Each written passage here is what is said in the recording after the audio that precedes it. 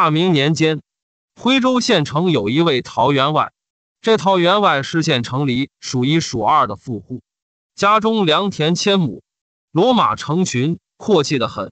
陶员外夫妇膝下就一个独生子，名唤陶宝良。陶公子不仅生得英俊不凡，而且非常聪明，早些年就考取了秀才。怎奈后面几次参加乡试，都没有考中。陶公子不免有些心灰意冷，也就无异于功名了。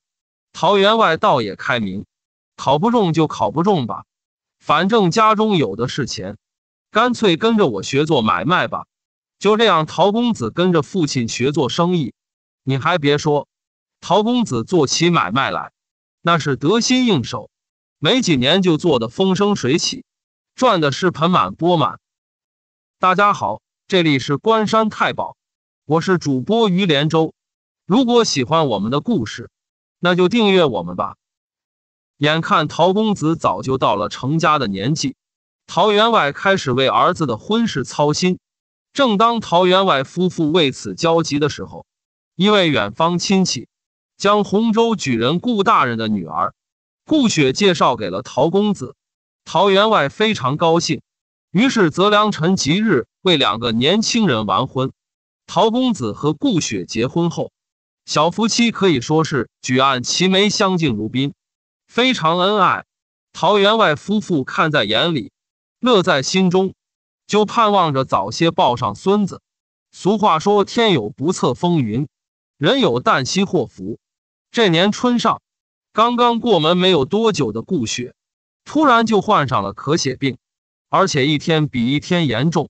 陶家上下心急如焚，花费重金遍寻名医来为顾雪医治，怎奈回天乏术。顾雪在病榻上苦苦挨了一个月，最终还是撒手而去了。陶公子伤心不已，忍住悲痛安葬了亡妻。约莫过了大半年。陶员外夫妇见儿子孤身一人形单影只，心中很是难受，又惦记着抱孙子，所以就托媒婆为儿子续弦。像陶公子这样的富贵人家，自然是吸引了众多姑娘。陶公子要续弦的消息刚刚传出来，前来保媒拉纤的几乎踏平了陶家的门槛。可是陶公子见过几位后，都不是很中意。这事情也就慢慢搁置下来了。这天正值端午节，趁着过节的功夫，陶公子信步到县城游逛。刚刚走到东大街的巷口，忽然听到有人高声叫喊：“陶公子，陶公子！”陶公子循声望去，原来是开干果店的好太婆。陶公子赶紧上前施礼：“啊，原来是好妈妈，好久不见了，最近生意可好？”好太婆满脸堆笑，回道：“像你这种贵公子，怎么会到我们这样的小店里来呢？我一个孤老婆子守着这个干果店，饿不死也撑不死，只能算是勉强活着。进来坐坐吧。”书中代言，这好太婆是个寡妇，早些年死了丈夫，膝下又没有子女，就开了这家干果店，每月有几十个钱的收入。平日里喜欢跑东家串西家，少不了传些闲话。人倒是不坏，就是嘴上不饶人。和陶家算是旧相识，陶公子走了大半天，也的确有些乏累了，就走进好太婆店中。好太婆连忙沏茶倒水，端上几碟干果招待陶公子。两人慢慢拉起了家常。陶公子，你家娘子过世也有些时日了。现在想过续弦吗？的确考虑过，只是没有遇见合适的。我说陶公子，你的眼光不要太高了。凭借你的条件，什么样的姑娘找不到？差不多就行了。好妈妈教训的是，小生一定铭记在心。两人正在唠嗑，外面有了来买干果的主顾。好太婆起身前去招呼，陶公子一边喝着茶，一边四处观望。就在这么个时候，只见隔壁的院门嘎吱一声打开了，一位穿着素雅的女子挎着一个篮子走了出来。陶公子一见，立即被深深吸引了。只见这位女子身材婀娜多姿，走起路来摇曳生姿，再往脸上看，女子双目含情，面若桃花，自带一股风流韵色。直到女子走远了，陶公子仍然痴痴的望着，一时晃了神。突然，好太婆大声叫他：“陶公子，陶公子，你怎么了？”陶公子这才回过神来，赶紧回道：“没什么，没什么。方才看见一位绝色女子，真是惊到我了。”好太婆抿嘴一笑，说道：“我知道你说的是哪家的女子。”陶公子急不可耐的问道。好妈妈，快说，她是谁家的闺女？好太婆缓缓说道：“方才走出去的是我家隔壁的娇娘。”陶公子急忙问道：“好妈妈，这娇娘可曾婚配？”好太婆把嘴一撇：“你啊，想都别想了，这娇娘早就成婚了。”听到这，陶公子满脸沮丧，问道：“不知这娇娘嫁给了何人？”好太婆哼了一声。她呀，嫁给了黄田。陶公子愣了一会儿，莫不是那个专做皮货生意的黄田？好太婆笑了一笑，就是那个黄田。除了他，还有谁？陶公子大失所望，喃喃的说道：“可惜了，可惜了。”好太婆故意挑拨他：“可惜了什么？”陶公子不无怅惘的说道：“这么个标致的大美人，嫁给了那个又黑又丑的黄田。”岂不是可惜了？好太婆拿陶公子打趣，要依公子之见，怎么才叫不可惜啊？陶公子一脸向往的说道：“若是娇娘能够嫁给我，就算掏万两黄金，我也心甘情愿啊！”好太婆嗤笑一声：“我说陶公子，你就死了那份心吧。人家娇娘是有丈夫的有夫之妇，怎么可能嫁给你？除非她丈夫死了。”陶公子也知道好太婆拿自己开心，于是回道：“只要能够弄死她丈夫，出多少钱我都愿意。”好太婆假意对陶公子的话很感兴趣。公子此话当真？陶公子一本正经的回道：“绝无戏言，只要弄死她丈夫，倾家荡产，我也在所不惜。”好，就等公子这句话。若是老生杀了她丈夫，你可要信守承诺，君子一言，驷马难追。说罢，陶公子和好太婆相视大笑。笑罢多时，陶公子这才转身离去。撇开陶公子不说，单说黄田这天告诉娇娘：“我要去临县收一笔账款，少则三五天，多则一个礼拜就回来了。”娇娘听罢，就替丈夫打点行李，送他出了门。一再嘱咐夫君路上多加小心。黄田点头称是，匆匆上路走了。黄田这一走就是七八天，一点消息也没有。娇娘心里直打鼓，默默祈祷，盼望丈夫早些平安归来。这天晌午，娇娘正在家中做针线活，忽然听见外面有人高喊：“请问这是黄田的家吗？家里有人吗？”娇娘听到喊声。赶紧放下手中的活，起身开门。打开门一看，只见一位赶车的大爷拉着一辆大车，满脸大汗站在眼前。娇娘一看不认识啊，就说道：“我就是黄田的娘子，请问你找哪位？”大爷抹了一把汗，说道：“你是黄田的娘子，那正好，我把黄田带回来了。”娇娘一听丈夫回来了，喜出望外，赶紧问道。他在哪？大爷满脸愁容，撩开大车上面的帘子，你自己看罢。娇娘不看则已，一看差点背过气去。只见黄田满脸鲜血，面目狰狞，直挺挺躺卧在车上，早已经死了多时了。娇娘刹那间昏了过去，左邻右舍赶紧上前，一阵急促的抢救，这才唤醒了娇娘。娇娘抚着黄田的尸体，放声痛哭：“夫君，你怎么撇下我孤身一人，就这么走了啊？”众人又是一阵安抚，这才劝住了娇娘。现在出了人命案，不能叫黄田的尸体就这么在门外躺着。于是邻里街坊带着娇娘，帮着大爷将黄田的尸体送到了县衙报官。徽州县令姓毛，毛县令一听出了人命大案，不敢耽搁，赶紧升堂审案。听完娇娘的叙说，毛县令就问赶车的大爷：“你是在哪里发现黄田的尸体？”大爷没敢隐瞒，回道：“大人，小的以赶车为生，今天路过城外的红树林，突然腹痛，就跑进树林里面方便。从树林里面返回的时候。”不小心被什么东西绊了一下，当时摔倒在地。待仔细观瞧，霎时吓得魂飞魄散。原来是一具血糊糊的男尸。小的大喊救命，这一喊惊动了过路的客商，大家纷纷围拢过来观看。其中就有认识的，说这不是东城的黄田吗？怎么死在了这里啊？小的心说不能叫黄田横尸荒野，于是就一番好心。把他的尸体拖回来了，这就是以往的经过。嗯，毛县令听罢点点头，就问娇娘：“你丈夫是什么时候走的啊？走之前都说了什么啊？”娇娘擦干眼泪说道：“回禀大人，我丈夫八天前离家走的。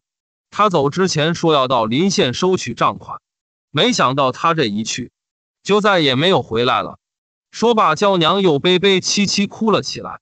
毛县令听罢，眉头紧锁，心中寻思：黄田走了七八天了，被发现时已经死在了红树林。这不用问啊，肯定是黄田走到红树林的时候遭人暗算了。于是发下令签：马捕头、杨捕头，你等速去追击凶犯，不得有误。是马捕头、杨捕头领命而去。第二天一大早。马捕头、杨捕头就像两只没头的苍蝇一般，在县城里面转悠开了。徽州县城方圆百余里，住着几万百姓，上哪去找凶犯啊？马捕头、杨捕头一连跑了三天，愣是没有找到一点线索，心中不免窝火憋气。这天一大早，两个捕头就转到了东城，恰好路过好太婆的干果店。马捕头寻思。这好太婆平日里最爱嚼舌头，消息灵得很。问问她是不是知道些什么？马捕头径直闯进了好太婆的店子。好太婆一见是两位捕头，赶紧笑脸相迎。哟，两位官爷，什么风把你们吹来了？赶紧屋里坐，我这就给二位爷沏茶去。马捕头大手一挥，高声说道：“不必了，我们有话问你。”好太婆愣住了，二位爷有什么话尽管问。马捕头把眼睛一瞪：“你隔壁的黄田死了，你可知晓？”好太婆赶紧回道：“那天赶车的把黄田的尸体拖回来，邻里街坊全都看见了，大家都知晓啊。”马捕头问道：“你可知道是谁杀害了黄田？”好太婆听罢，吓得浑身一哆嗦：“哎呦，这个老生可不知道。”老生成天守在店里，哪里晓得这些事情？马捕头怒目圆睁：“你个老太婆是远近闻名的长舌妇，还有什么是你不知道的？你若是知情不报，告你个窝藏罪，叫你吃不了兜着走。”说罢，拿出钢刀，在好太婆的眼前晃了晃。好太婆吓得惊恐万状，连连叩头：“官爷，老生不敢隐瞒啊！”小的真的什么都不知道啊！好太婆连连跪倒磕头，突然之间，似乎想起了什么，就喃喃自语的说道：“难道是他？”马捕头一听，眼前一亮：“你说的他是谁？”好太婆立马感觉说错了话，急忙纠正：“不可能啊，明明是开玩笑啊！他不会真的杀了黄田吧？”马捕头早就心急如焚了，急切的问道。你说的那个他是谁？谁要杀黄田？好太婆早就被吓破了胆，没敢隐瞒，只得将那天陶公子来殿中闲坐，怎么被娇娘的美色迷住，怎么说笑，说要将黄田杀死的经过细细叙说了一遍。马捕头听罢大喜过望，心说：好你个陶公子，原来是个人面兽心的家伙，为了霸占人家的妻子。竟然干出这等龌龊的事来！想到这，马捕头急匆匆赶回县衙，将获悉的消息报告给了毛县令。毛县令这几天正在为黄田的案子焦急，眼看已经过去了数日，案子一点进展都没有，这不好像上次交代啊！正在焦虑的时刻，马捕头气喘吁吁跑进来，说案子有了重大突破。毛县令听罢大喜，现在有了人证，不怕你不招。来啊，速速捉拿陶宝良归案。再说，陶公子刚刚从外地做完一笔买卖回家，板凳还没有坐热呢，就被两个捕头套上锁链带到了县衙。毛县令点指陶公子，厉声喝问：“你就是陶宝良？你是否认识黄田的妻子娇娘？”陶公子不知道自己所犯何罪，老老实实回道：“大人，小的那天在好太婆的殿中见过娇娘一面，仅此而已。”毛县令冷笑一声：“好一个仅此而已！我且问你，你是否说过，如若有人肯杀了黄田，你就算花费万两黄金也在所不惜？”陶公子听罢大惊失色，连忙回道：“大人，那都是小的一时糊涂，胡乱说的玩笑话。”毛县令啪的一拍惊堂木，高声喝道：“玩笑话！你可知黄田现在已经遭人谋害？”难道这也是玩笑话吗？陶公子听罢，吓得魂不附体，急忙回道：“大人，小的刚刚从外地回来，一概不知啊！”毛县令怒目圆睁，厉声呵斥：“好你个奸邪小人，还不将你如何与娇娘私通、谋害黄田的罪行从实招来！”陶公子听罢，吓得脸色苍白，大声叫喊：“冤枉啊！大人，冤枉！”小的没有和娇娘私通，更没有杀人啊！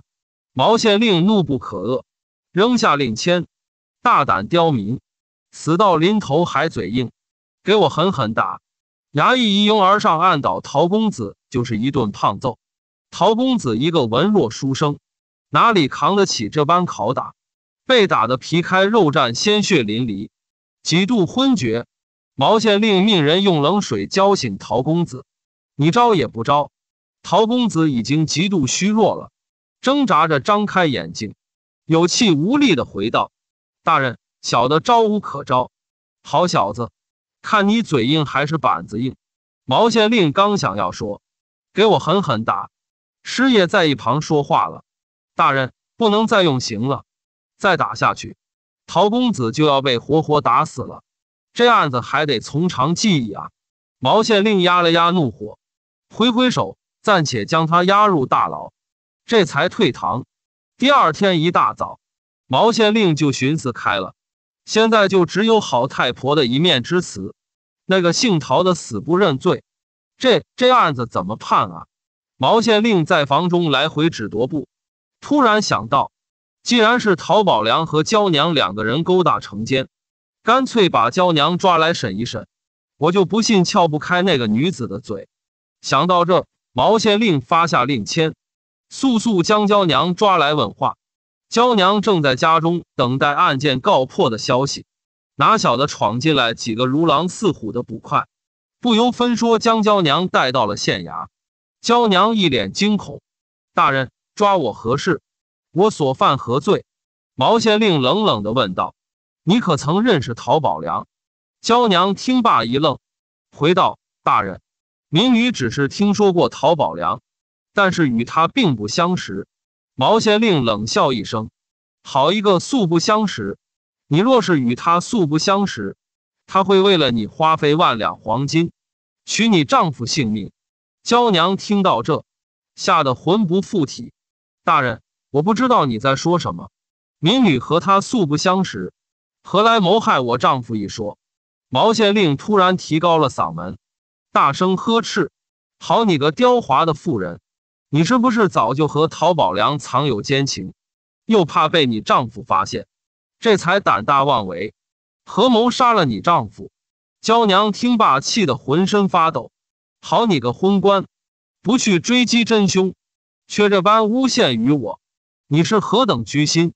毛县令被娇娘这么一骂，气得胡子乱颤，大喝一声：“来啊！”给我狠狠打！衙役一拥而上，就按住娇娘，大刑伺候。什么大刑伺候？就是夹棍。夹棍这个刑具可厉害，竹制的刑具将娇娘的食指夹在刑具中间，两边的衙役向外使劲拉拽，娇娘的手指被夹棍死死挤压。都说十指连心啊，娇娘的食指刹那间被夹的血肉模糊，当时就昏死了过去。毛县令命人泼醒娇娘，恶狠狠地说道：“你招也不招。”娇娘已经近乎休克了。还剩下最后一口气，他也知道，再不招认，就得被活活打死，只得违心求饶。大人，我招了。毛县令一听大喜，赶紧吩咐娇娘在供词上面签字画押。娇娘手指血肉模糊，连笔都握不住了。衙役捏着娇娘的手指，在供状上面摁下了手印，拿到了娇娘的供词。毛县令得意洋洋。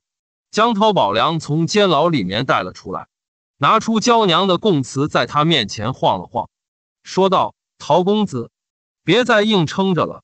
你看，娇娘都已经招认了，你就招认了吧。”陶公子一看旁边伤痕累累的娇娘，心如刀割一般难受，知道是自己的一句玩笑话连累了娇娘，心中寻思：纵然两个人受罪，不如让自己一人承担。于是大声说道：“好，大人，我全都招了。”毛县令见陶公子如此爽快，喜不自禁，连忙问道：“你是如何和娇娘勾搭成奸，又如何杀害黄田？从实招来。”陶公子悲愤不已，遇见这种昏官，真是老百姓的不幸。可是有什么用呢？没做过的罪行，却要招认，不招还不行。与其这样被折磨致死，不如干脆来个痛快的。于是心一横，就信口胡编，说自打遇见娇娘，就被她的美色深深迷住了。于是趁着黄田不在家的功夫，拿着金银首饰勾引娇娘。就这样，两个人有了奸情。虽然满足了一时的欢愉，但是仍然不甘心，想要做个长久夫妻。就趁着黄田去往临县收账的路上，趁其不被杀害了黄田。毛县令拿到陶公子的供词，心满意足，连夜写好了卷宗，送往知府大人那里。待批文下来，就可以将陶宝良拉出去斩首了。话分两头。再说陶员外得知儿子被判了死罪，心如刀绞。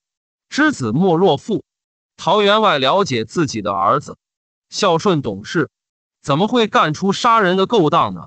肯定是经不住严刑拷打，被屈打成招。于是陶员外雇了一辆车，连夜赶往省城，一张状纸递到了府衙，要为儿子申冤。知府姓邵，邵知府断案多年，是个断案如神的清官。他看了看陶员外送来的状纸，又细细查看毛县令呈递上来的卷宗。很快就发现卷宗里面错漏百出。陶宝良身为员外的公子，本来就有秀才的功名，也算是个饱读诗书的文人，怎么会以身犯险，做出买凶杀人的勾当呢？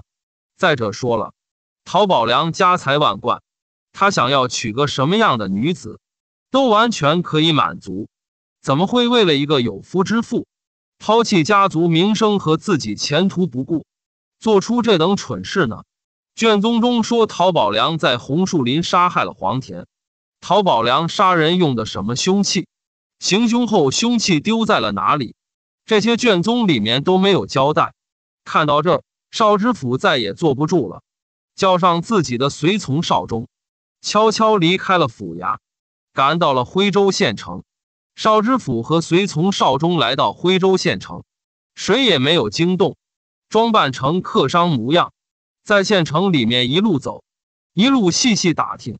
这天，两人就来到了徽州城外的红树林。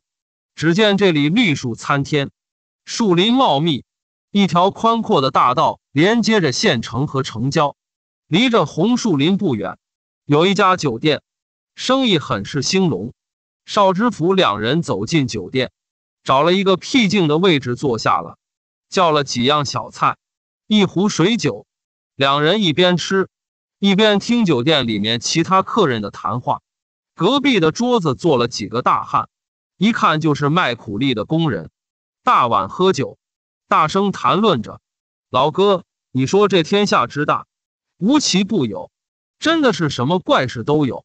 哦，小老弟，你又遇见什么稀奇事情了？我跟你说，大哥，就那个跟我们一起扛包的猴八，原来穷的跟个鬼似的，连最便宜两文钱一碗的糙酒都喝不起。这些天不知咋的，陡然间就发财了。小弟，你说的那个猴八，我晓得，常常喝酒赖账，那小子还能发什么财？你不知道啊？昨天我在县城一家大酒楼碰见他了，这小子点了满满一大桌山珍海味。你说他要不是发财了，怎么吃得起那么好的酒菜？吃那个穷鬼，他付得起酒钱吗？大哥。我开始也怀疑，结果你猜怎么着？那个侯八从口袋里掏出了一锭十两的银子付账。老弟，你没有看错，他真的掏出了十两的银子，绝没有看错，就是十两的一锭大银子。你咋不问问那个穷鬼怎么发的财？我问了，那个侯八精的很，我怎么问他都不肯说。说者无心，听者有心。少知府听罢，朝少忠悄悄一使眼色，两人付了酒钱，匆匆离开了。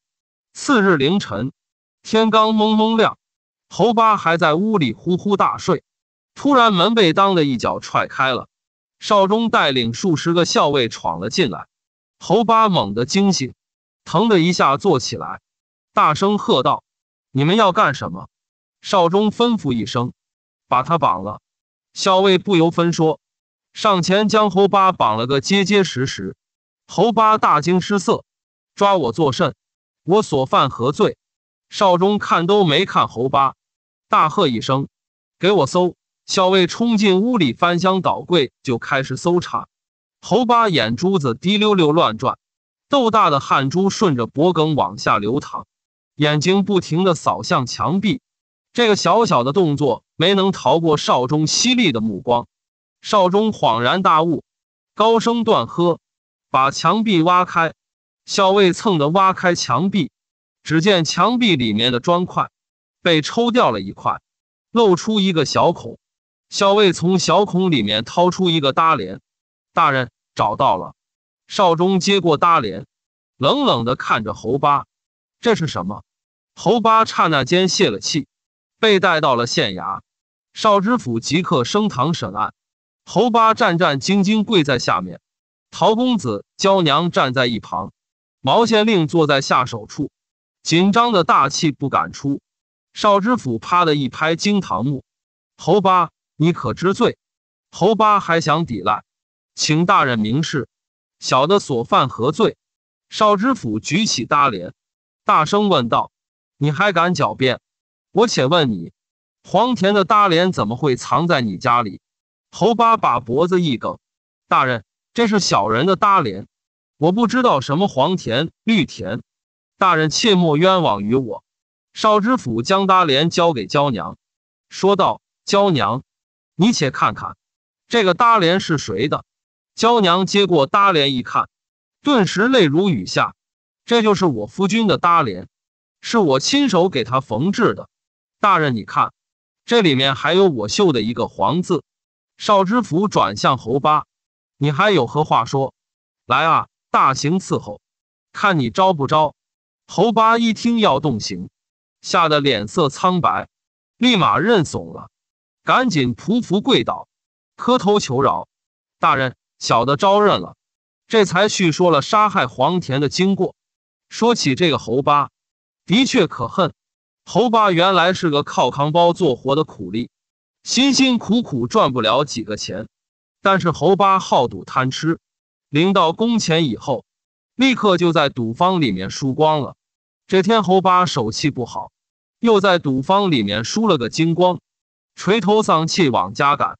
走到红树林的时候，忽然看见黄田背着一个沉重的搭帘走了过来。